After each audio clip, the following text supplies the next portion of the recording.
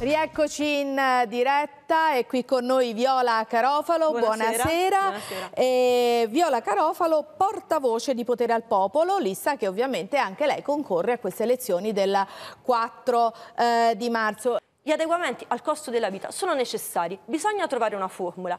Alcune formule saranno anche un po' vintage, ma sono formule di tempi in cui si viveva un po' meglio da adesso. Io non sono una passatista, non penso come dire che prima si stava sempre meglio da adesso. Penso che chi sta, chi sta male è sempre stato male, ma penso anche che la povertà che vediamo adesso e l'afflizione che vediamo adesso non si è mai vista. Non solo perché lo dicono le statistiche, che a volte, come dire, mischiano le carte, perché lo sappiamo tutti, no?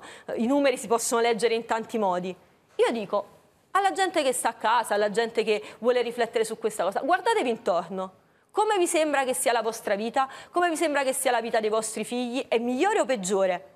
Io penso che la mia generazione è la generazione più disperata degli ultimi cento anni in Italia, con tutto che ci sono stati belle tragedie e bei problemi, perché è la prima generazione che non ha nessuna speranza di vivere meglio dei suoi genitori, ma neanche di vivere allo stesso modo. O noi affrontiamo questo problema, che passa anche per l'adeguamento salariale, oltre che evidentemente per l'estensione dei diritti, oppure siamo destinati a, semplicemente a rassegnarci a campare sempre peggio.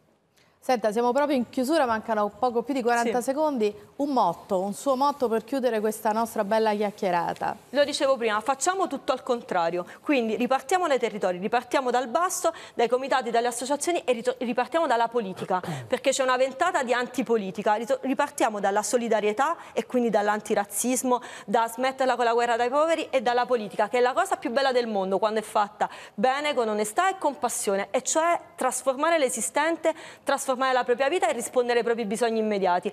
Non ci facciamo imbrogliare da chi dice ah no, la politica è la cosa più brutta e deteriore che c'è. La politica è una cosa bellissima, ma va fatta bene.